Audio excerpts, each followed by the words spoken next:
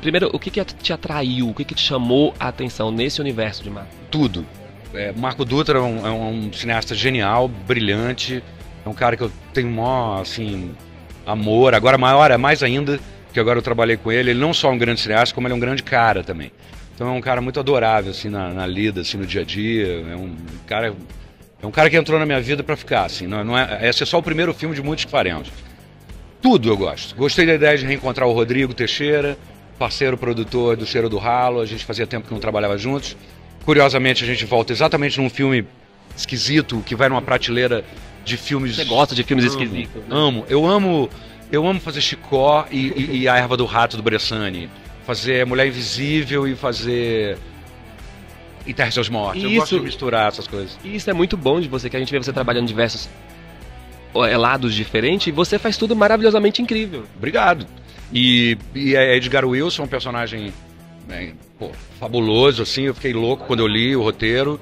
E eu já vi que eu estava diante de um, de um personagem, assim, icônico.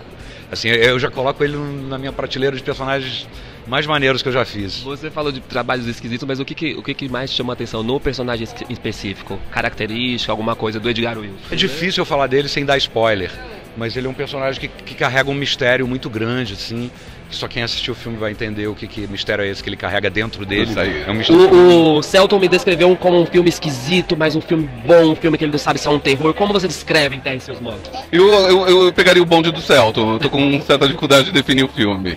Eu acho que o filme tem esse propósito também. Eu acho que ele complica mais, confunde mais do que elucida. Então, mas é um filme western, road movie, de terror, de suspense apocalíptico. Olha aí. É, mas uma boa descrição, uma boa descrição. Não, já dá um, né, dá uma paisagem já dá. pra quem vai ver. O que você pode falar? A gente não assistiu ainda, né? O filme ainda não tem data de estreia, vai ter uma segunda sessão da mostra ainda, mas o que você pode falar sobre tomar seu personagem? Que, que, que ele é diferente, assim, pelo menos dos papéis que eu já tinha acostumado a ver você fazer. Bem diferente, bem diferente. Ah, eu acho que é um. Bom, ele parte da obra da Ana Paula Maia é um personagem super, super interessante. Ele, eu gosto muito de pensar ele como função. Ele tem uma, uma, uma parceria com o personagem do Celton, que é o protagonista, que é fundamental um pouco para o encaminhamento da história.